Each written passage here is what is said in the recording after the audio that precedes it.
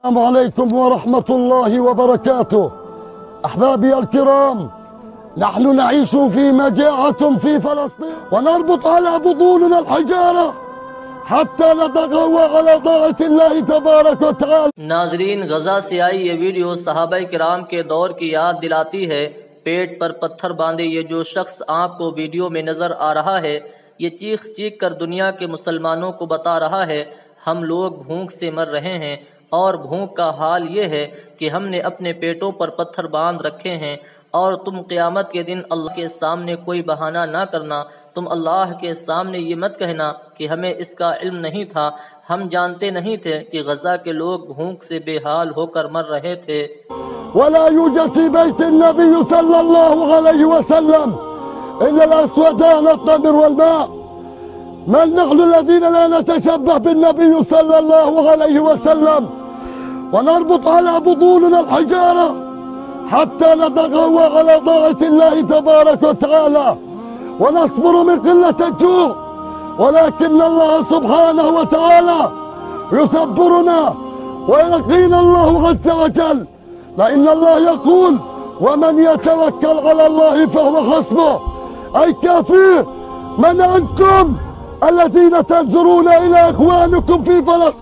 नाजरीन वीडियो देखकर आंखों से आंसू और सीने से कलेजा बाहर को आता है हम इधर ईद की खुशियां मना रहे थे अच्छे अच्छे खाने हमारे घरों में बन रहे थे तुम जानते हो गजा के लोग उस दिन कैसे जिए कैसे पेट पर पत्थर बांध कर सोए थे भूख से बेहाल इस शख्स का मैसेज सुनिए कितनी दर्द भरी आवाज में मुसलमानों को बता रहा है हम भूख से तड़प रहे हैं हम भूख से मर रहे हैं अय मुसलमान हुक्मरानों कल क़यामत के दिन तक हम इस उम्मत को माफ नहीं करेंगे